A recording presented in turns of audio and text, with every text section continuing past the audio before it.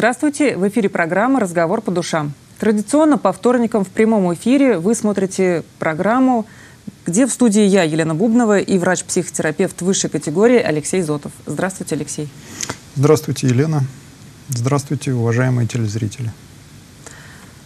Будем протягивать э, традиционную ниточку с прошлых передач э, или сразу начнем разговор э, на какую-то тему, пока ждем звонков от наших телезрителей. Напоминаю, у нас прямой эфир, телефон в студии 202 11 22. Звоните. Ну, может быть так.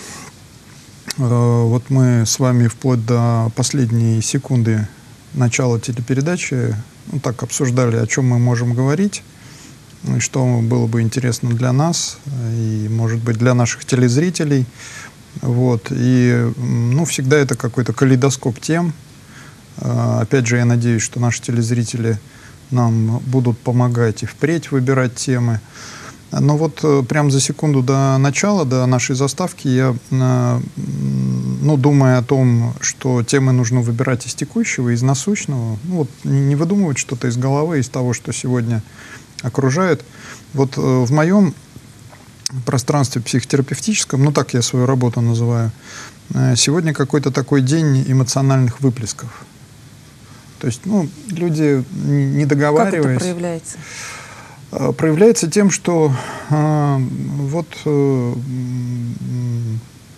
люди рассказывают какие-то эмоциональные истории свои, и э, если немножко взять дистанцию, ну, то есть не только слушать то, о чем идет речь, да, а речь может идти о разном, но еще и что посредством своей речи человек делает, ну, человек, когда говорит, на мой взгляд, он же что-то производит, ну, совершает какое-то де какие-то действия, то э, вот сегодня день таких действий, где люди, в, наверное, основной э, функцией речи выбирают осознанно или неосознанно выплеснуть эмоции, поделиться эмоциями. Ну, поделиться может быть не то слово, да, вот опубликовать, здесь могут быть разные слова, э, выдать наружу, э, озвучить. Ну, в общем, как-то не только их обозначить, но и э, озвучить. Да, это соответствующий голос, это соответствующий тембр, это соответствующее выражение лица, это накал, может быть, да, ну, это много чего может быть. О каких чувствах речь идет? Э, Какие чувства чаще всего хотят быть выплеснутыми? Э, ну, в кабинете, э, я не знаю, закономерность ли это, но в основном то, что называется негативные чувства. И э, для меня важно услышать, что или это бывает так, человек рассказывает о чем-то неприятном для него, но делает это монотонным, обыденным языком, и в этот момент э, я э, понимаю, что, может быть, моя задача не, не только его выслушать, сколько помочь в этот монотонный обыденный язык добавить те чувства, которые у него в этот момент ну, где-то э, под крышкой, где-то под фильтром. Человек говорит о, о расставании, ну и каким-то таким будничным языком, о расставании с э, важным для себя человеком. Мужчина рассказывает о женщине. Угу что он некоторое время назад расстался с женщиной, но говорит, говорит, что он очень переживает, говорит, что это очень важный для него человек, но говорит об этом обыденным языком, говорит, да, я переживаю, я знаю, вот у меня такие-то чувства, утраты, одиночество, потери. И э, парадокс здесь заключается в том, проблемный, наверное, парадокс, что э, вроде бы чувства обозначаются, но им не дают движения, им не дают хода. И ну, в этом смысле я свою задачу вижу в том, чтобы этим чувствам ну, создать условия, чтобы эти чувства появились. А это в основном доверительные условия, да? Условия, где можно публиковать чувства. Угу. Как, например, телевидение или газеты, да, интернет — это место, где публикуют какие-то истории. Вот кабинет психотерапевта — это место, где публи... ну, делают публичным, да, э, в смысле сообщают другому человеку. Э, в наших передачах мы говорили и о детско-родительских отношениях, и о студентах говорили. Вы говорили, что много студентов к вам сейчас ходят. Э, взрослые с темой расставания, разводов. Как часто приходят? Насколько это действительно актуальная такая тема, которая захватывает ну, значительную часть населения? Ну, трудно привести статистику, но приходят часто. И сегодняшние, кстати, выплески чувств. Я к тому, что, может быть, и звонок сегодня, звонки будут. Я хочу сигнализировать телезрителям, что, может быть, сегодня хороший день для того, чтобы вы позвонили и э, рассказали о каких-то своих эмоциях, которые ждали э, момента для того, чтобы быть обозначенными.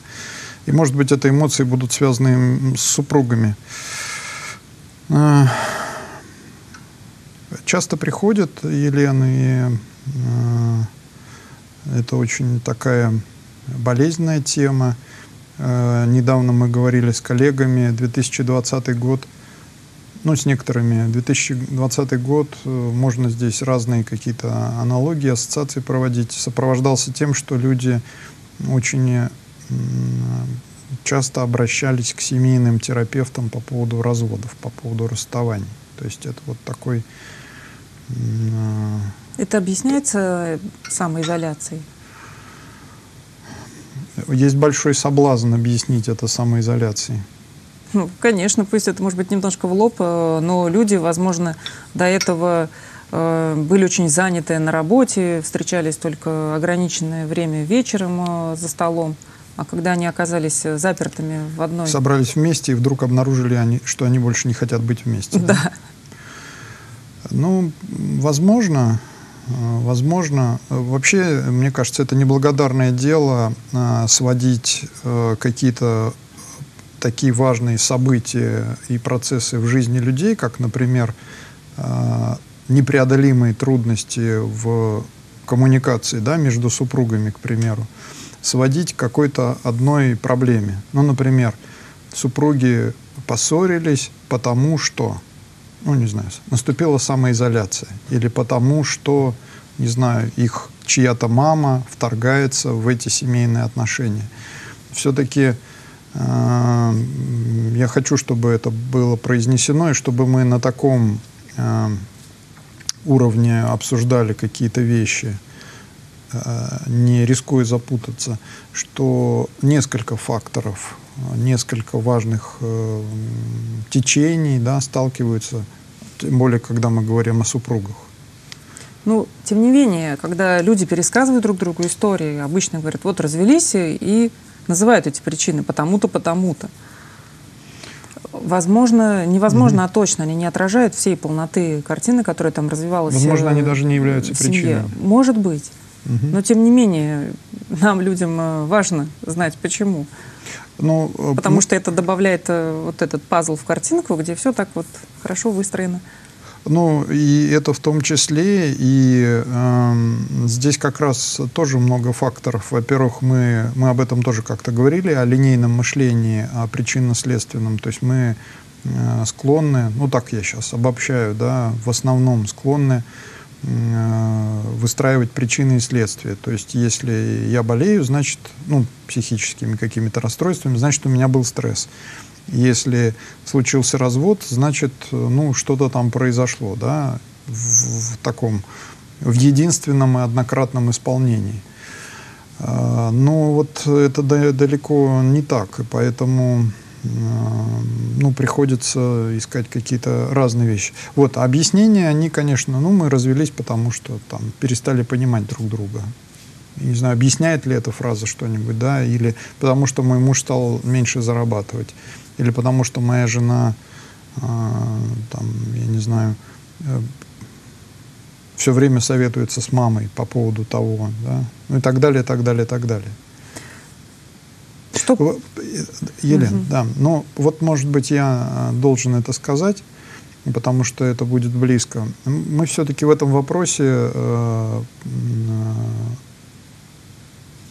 взаимодействия супругов всегда приходим к э, общению, к коммуникации. Как, как складывается общение? Оно всегда многогранное. Вот я сейчас так вокруг да около. в надежде, что э, у нас появятся истории, которые сделать, сделают эти э, рассуждения прагматичными и однозначными. Да. Что хотели спросить? Пока мы ждем звонков от наших телезрителей, напоминаю, у нас прямой эфир, телефон в студии 202 11 22. Звоните, мы открыты для диалога. Э, наверняка приходят э, и те, кто разводится, и те, с кем разводятся. Да? Угу. Разные люди. Э, пока мы ждем звонков, о чем полезным в этой теме мы можем поговорить для наших телезрителей? Полезным для наших телезрителей. Не знаю, стоит разводиться, не стоит. Вообще, когда эти вопросы приходят в голову, на что стоит обратить внимание, о чем подумать? Вообще первое, что я бы э, хотел на этих скрижалях написать, ну, э, касающихся вопросов развода. И это первое, что после выслушивания истории я начинаю обсуждать, это то, что в каких-то разногласиях, в том числе и таких э, непреодолимых у супругов, всегда э, ну, я просто исхожу из этого, как из аксиомы. А, это всегда вложение обоих супругов. Хотя а, так часто бывает, что супруги приходят, причем даже иногда договорившись. Ну, например, супруга приводит своего супруга и рассказывает, что он там, не знаю, перестал обращать на, не, на нее внимание, или у него появилась любовница, или он э, стал, ну, парадокс, стал больше зарабатывать, стал позволять себе какие-то вещи, позже приходить домой, вести себя дома как руководитель, как начальник. И, в общем, и они, может быть, и, и супруг сидит и кивает, и, в общем, подай. То есть у них есть согласие очень часто по поводу того, кто виноват. Э, согласие парадоксальным образом э, достигнутое, где ну, вот как раз эта идея о том, что оба человека вложились и продолжают вкладываться в то, чтобы а, отношения нарушились. Как, как, как, бы, как бы это ни выглядело. Это Но... такая форма негативизма, о котором мы говорили в одной из передач. Говорили, иногда вот вижу вот это согласие. Угу. Когда сидит человек, говорит, да, да, да, все так и есть. Э, ну, я думаю, что это форма а, о чем-то договориться и, может быть, погасить конфликт. Иногда это бывает так, что приходят два супруга, один из них, ну, мужчина, в основном алкоголизируется, очень часто и очень выраженно. И вроде бы здесь расклады понятные. Она говорит, ну, а я-то чего? Это вот он разрушает наши отношения, это он с его подачи в нашей семье появилась бутылка, это он приходит пьяный и так далее. Да? Это он э, меня оскорбляет, это он меня бьет и так далее. И, ну, если до этого доходит. И здесь вроде бы э,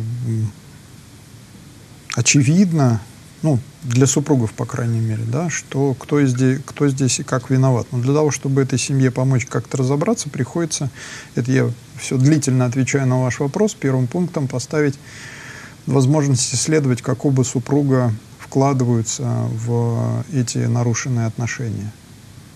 Зачем им это? Зачем что?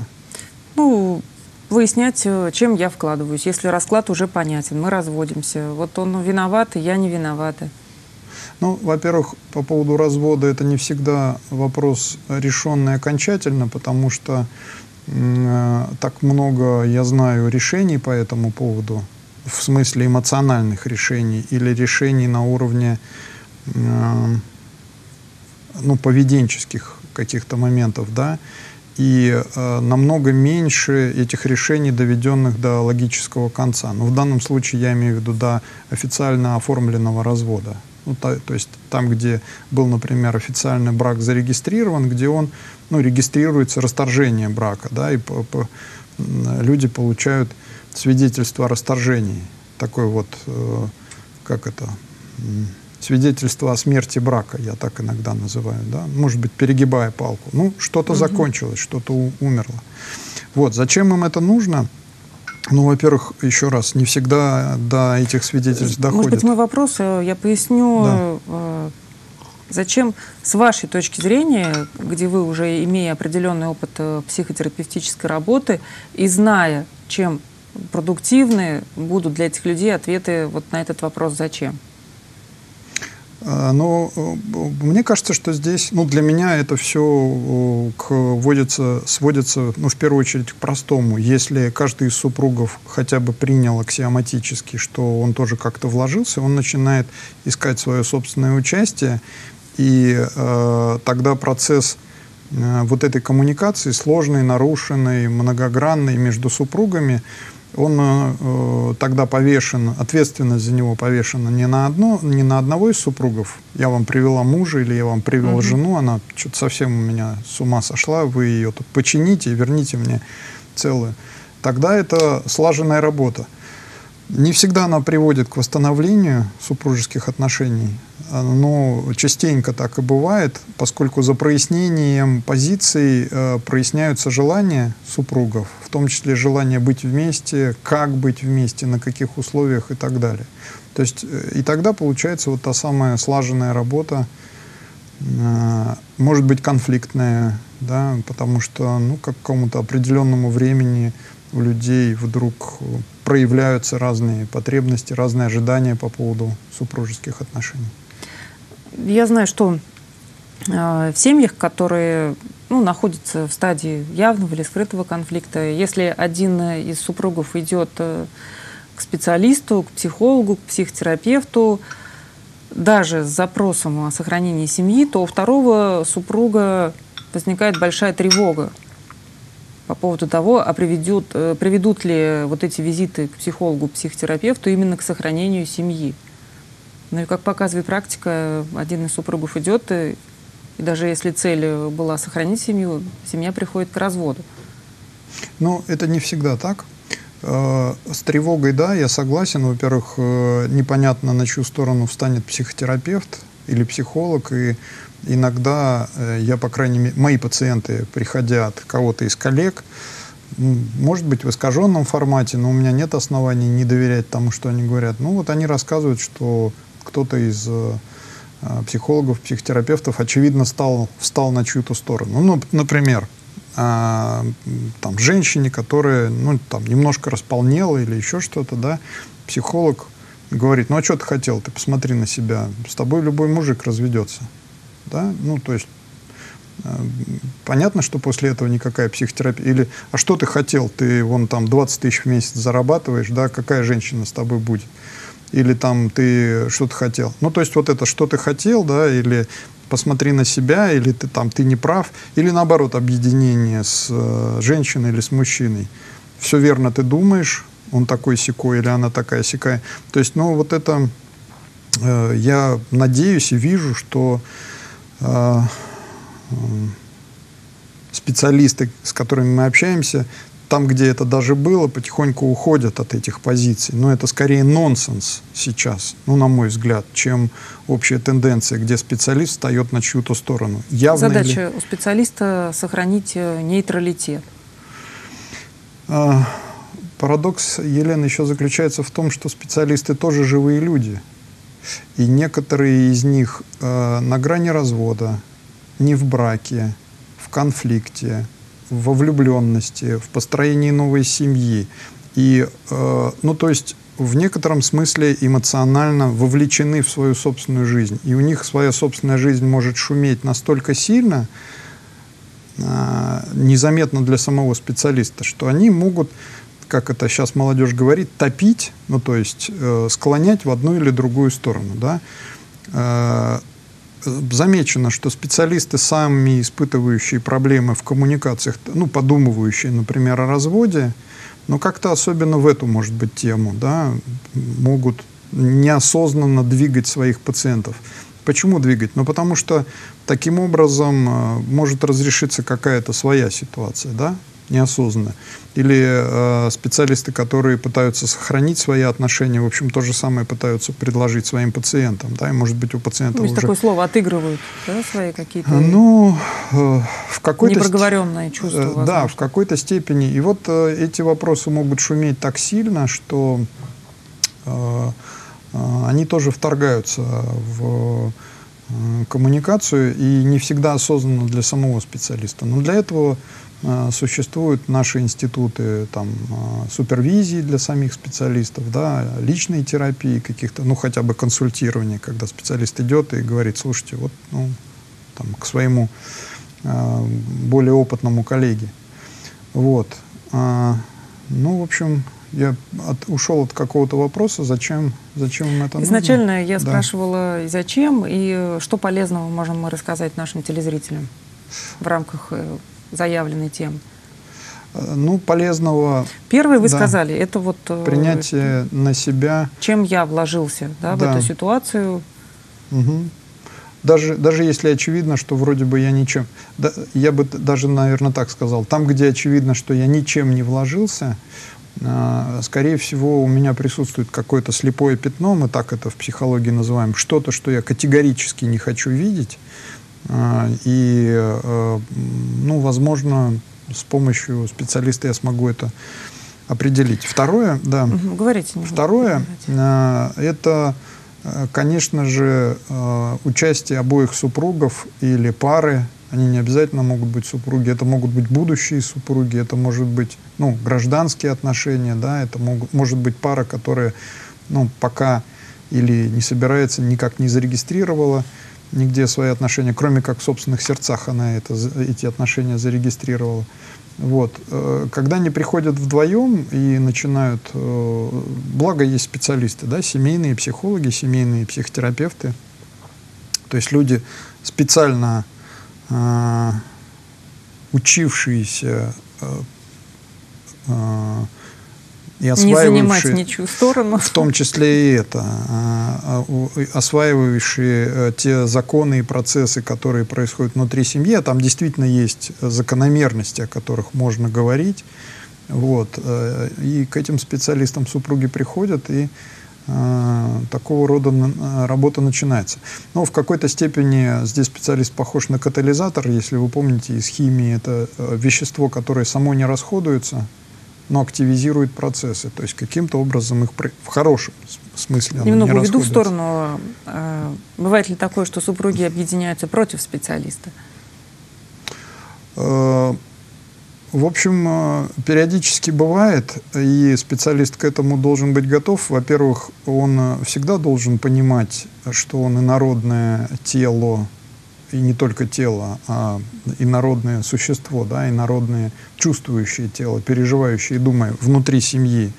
И э, ему, э, специалисту, ну, скажем так, нужно какое-то время, и семье нужно какое-то время, чтобы специалиста пустили в семейную систему, ну, то есть ему рассказали об устройстве, да, а, и это определенные такие доверительные отношения. Специалист бы захотел туда зайти, потому что э, это, может быть, на поверхности кажется, что, ну, что там, супруги ругаются, и, э, ну, так сказать, это все их проблемы.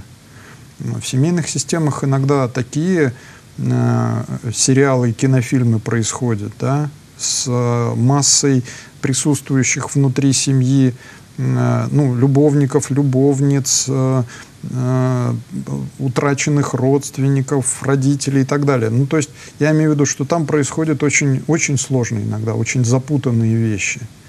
И э, иногда перед специалистом вот эта вот семейная система вот так вот разверзается, и он думает, как ему там выжить, как ему там существовать, как ему там помогать и быть эффективным.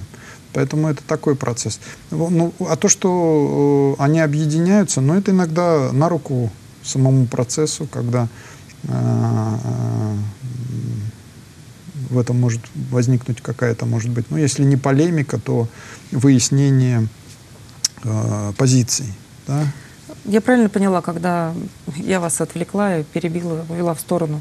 Вы начали говорить о будущих супругах и о будущих отношениях. Э, полезно в нынешних отношениях э, найти ответы на вопросы, чем я вкладываюсь, да, где у меня, возможно, кривая коммуникация с моим партнером, чтобы не тащить это в следующие отношения, потому что люди, э, проживя одни, вторые, третьи отношения, иногда начинают замечать, что они развиваются по одинаковому сценарию.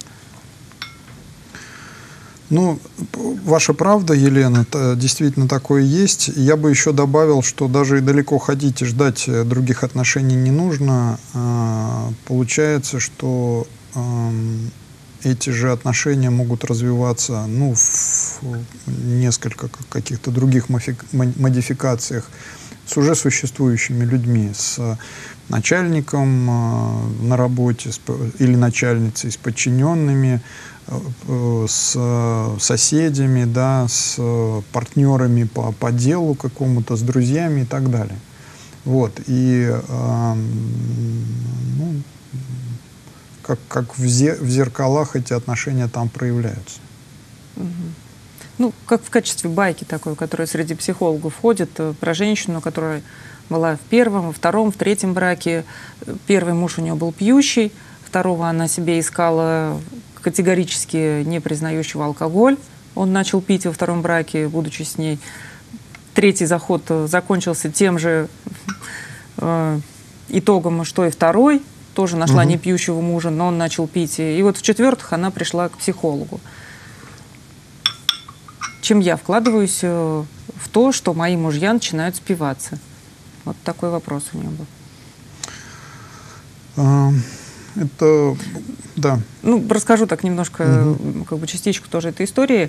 Э, один из элементов, который она обнаружила, уровень ее тревоги вот в этой теме как раз алкоголизации ее мужа был настолько, что она не замечала, что каждый приход мужа она встречала принюхиванием. То есть она принюхивалась. Mm-hmm. Ты еще трезвый, ты еще трезвый. Ну, э, здесь есть очень тонкая грань, Елена, я бы о ней хотел сказать, и очень важный момент. Э, женщины, э, у которых супруги выпивают, э, на, в первом приближении очень нагружены чувством вины. И если в лоб э, и, и, конечно, это чувство настолько непереносимое, что этот вопрос иногда почти невозможно поставить, о чем вы вкладываетесь, да, потому что она говорит, ну, как я работаю, я, он э, там выпивает и на работу не ходит, да, я содержу всю семью и так далее, и так далее. Договариваюсь, может быть, там с э, полицией, с соседями, но это в каких-то крайних mm-hmm. случаях, да, стираю, готовлю и так далее. Вот, и обратите этот вопрос ей напрямую, а, это по сути, а иногда так и происходит, да, и вот если послушать вашу историю, сразу хочется сказать, что что такого делает женщина, что ее э, мужья пьют, и вот, ну, такое чувство вины ей привязать. Я какая-то не такая во всех этих. Вот э, тонкая грань между... Понятное дело, что я эту историю угу. рассказала утрированно, да, и но она иногда, она иногда, вы, вы очень э, точно рассказали, потому что она иногда так, таким образом утрируется в голове специалиста. То угу. есть специалист себе рисует такую цепочку. Ага, вот первый, второй, третий брак. Складываем 1 плюс 1, получается 4-0. 4-0 не в пользу этой женщины, да, и, в общем, тогда ее начинают расспрашивать, чего она такого э, делает неосознанно для себя. Она, безусловно, что-то делает, да, э, я имею в виду, но не чтобы он пил, а э, э, она вкладывается в коммуникацию, да, в ту коммуникацию, чтобы которая... он э, порождал в ней вот это чувство вины, которое для нее привычное чувство. У нас не так много времени до конца передачи, если ага. можно коротко. А я коротко я здесь остановлюсь, потому что каждая история э, по-своему э, разворачивается. Я бы не хотел сейчас огульно все отношения э, женщин и мужей алкоголиков или выпивающих. Хотя алкоголь это очень серьезная тема для нашей страны, для города. Много супругов приходит. Но это всегда как-то по-разному. Вот. Всегда как-то по-разному. И иногда так бывает, что женщина, начав ходить в, на консультации к психологу, к психотерапевту, приводит с собой супруга, ну и начинается следующий этап работы. Спасибо, Алексей, за сегодняшний разговор. Э, спасибо, что смотрели нашу программу. В следующий вторник в прямом эфире на телеканале «Самара ГИС» вновь разговор по душам. Снова звоните нам. Спасибо, всего доброго. Всего доброго.